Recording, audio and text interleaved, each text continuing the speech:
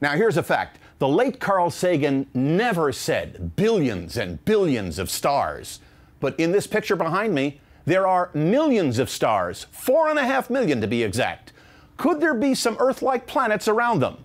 Well, not long ago, we launched a spacecraft that just might tell us if there is.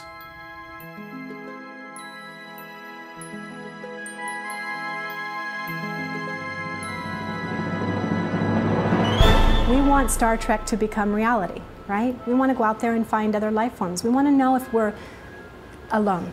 San Jose State astronomer Natalie Batalha is about to help us search for another planet Earth. She's part of the NASA team that planned, designed, and built a new kind of space telescope called Kepler.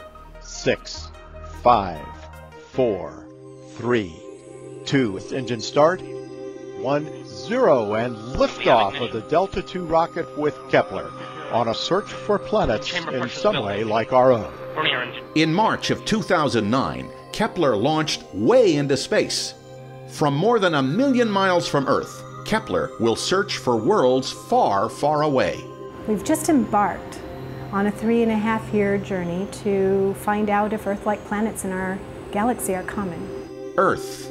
We're here because we're just far enough from the Sun for life to sprout. But our Sun is just one of millions of stars, and astronomers have found dozens of planets around those distant suns.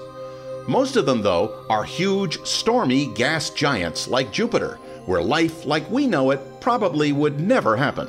We want to find not just Earth sized planets, we want to find habitable Earth sized planets. That's not easy. The closest stars are light years away, and they're too bright for normal telescopes to pick out tiny planets. We can't just take a telescope and point it at the sky and take a picture and say, ah, there's a planet. We can't do that, it's too difficult. The light contrast between a star and a planet is too tiny. So, how do you find the ultimate needle in a haystack?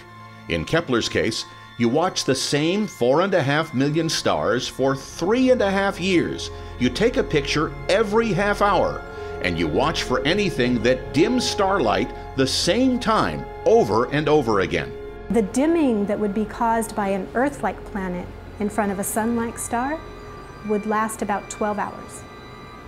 So we're taking a measurement every 30 minutes for three and a half years, and we're looking for something that lasts 12 hours every 365 days. But how do you tell if it's a planet that dims the sunlight, or if it's, say, a vibration on board the spacecraft itself? So inside here, what we have is a very simple telescope, really. Um, and in this case, our telescope is upside down. Instead of being pointed to the sky, it's pointed downwards. Professor Batalha's team got a nifty idea.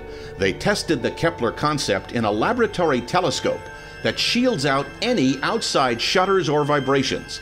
The scope only sees light that shines through dots on a painted sheet of glass. And the idea is to have the light pass through the holes and to make fake stars, mhm. artificial stars. Tiny electric wires snake over the glass dots. A little current makes them expand just enough to dim the light, the way a planet might dim a distant star. So as that wire expands due to that very, very tiny current, the brightness of the source underneath is going to dim, right? Because you're blocking out some of the light.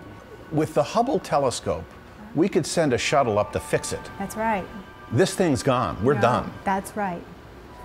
No second chances. Got to get it right the first time. it looks like we did. It looks like we did. The first Kepler images stunned astronomers and make them hungry for more.